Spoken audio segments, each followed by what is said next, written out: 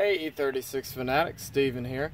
Today I'm doing a video on a power window repair on my brother's 318i. The issue with his is kind of is was kind of really obvious to me.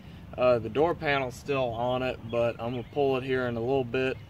And the reason it's kind of obvious to me is that when I press the button going up and down, the window doesn't move at all uh, but I can hear the motor and the regulator moving around. Not only that, and here's the kicker, my little brother's been moving the window around manually, uh, basically to when it's raining outside, he raises the window up all the way, and then when it's not, he'll lower it to get some air flowing through. So that tells me pretty much that the regulator's not attached to the window at all now. One, once I pulled the panel, it's pretty obvious what was wrong. Uh, the regulator had slid off of the plastic pieces, which are located right here. They had just cracked over time. So both, both, uh, cause there's two of them, there's two ends like this on the regulator. They're both off. Um, so basically the window's just free floating here. I can pick it up and move it around. So what I'm gonna do, I've got, I've got some sliders handy from another window actually that I'm gonna clean up. And I got the clips, and I got this one right here, and I got another clip. So I'm gonna throw these onto the regulator and then hopefully it'll start working again here's basically my donor regulator from another another BMW that I had. Um, so I'm just going to pull off the clips on this one and use it for this regulator right here. So as you can see, window's just free floating right now. Regulator's not on it at all. Okay, so once I'm done kind of getting it set up, I use silicone lubricant on the guide rails this kind of just helps those plastic glides last longer and the regulator and everything overall.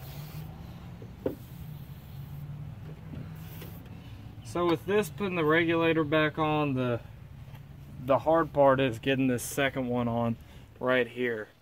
Um, once you got the second one on, the first one's pretty easy.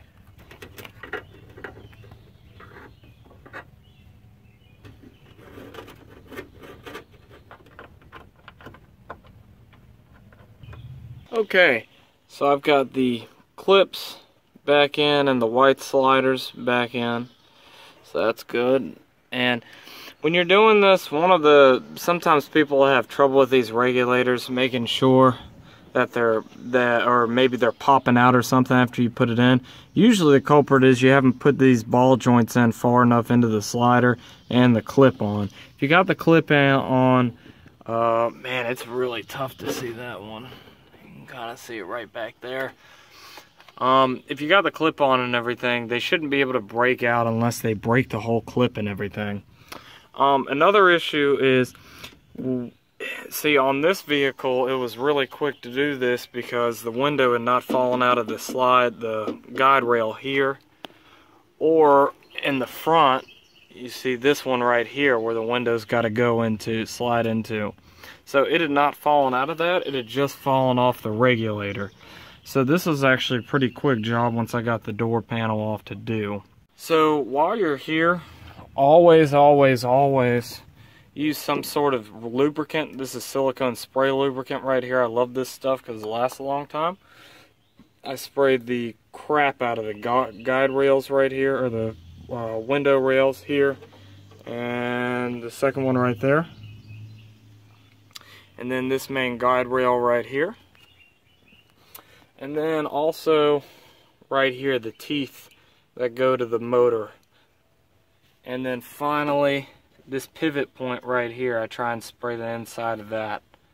That's where it pivots on so. And then once you're done the only thing left to do is you might have to realign it or uh, you might have to reset the window so it'll it'll fit to the right position which is rel which is pretty easy to do.